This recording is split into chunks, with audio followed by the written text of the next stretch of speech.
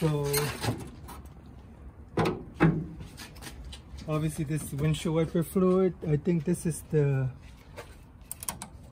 power steering. See, there's two of them. Okay.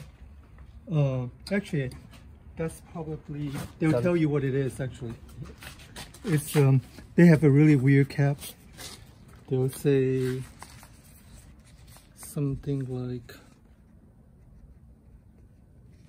clean filter. Oh, this is probably power steering fluid. See the steering wheel? Okay.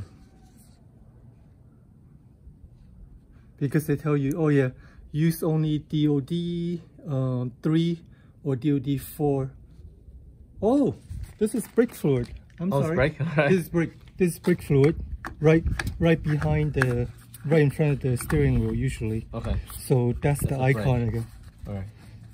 Yeah, it's, uh, you know it's the brake fluid because the cap is kind of weird. You have to fit it in the right way. Okay. So only do this. Don't do it right now because you just drove the car. Okay. So it's circulating. So if you open it, it might overfill. Oh, my, I got it. Yeah. Okay. So, so do the best thing time to do it in, early in the morning when before you drive.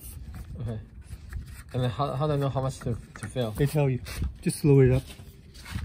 To to here? Like Yeah, there, there- there's a filter. See, just, just. I'm sorry. I got it. I am. Yeah. So you see the filter? Just to, they make sure that you don't dump anything funky in there because this is hydraulic. Oh, so so fill up to that line to the the hole. hmm That's fine. We will. Because if you fill it up to the line, and next thing you know, you have to refill it. So it only goes in one way. Okay.